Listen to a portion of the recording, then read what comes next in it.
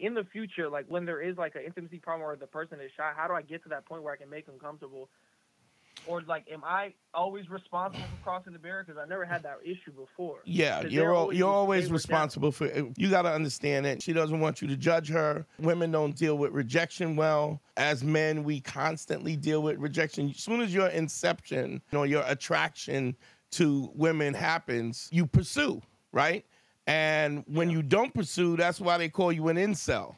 Right, because you're saying I'm afraid. Those dudes are afraid to for the rejection to deal with, and they're also afraid to learn the the skill set of how to approach. On some occasions, you'll find women are aggressive, and the times that you'll find women aggressive are usually because you're so dope that they're aggressively pursuing you because your value is so evident. But it takes time to get like that. Because if you got a guy like Drake, right?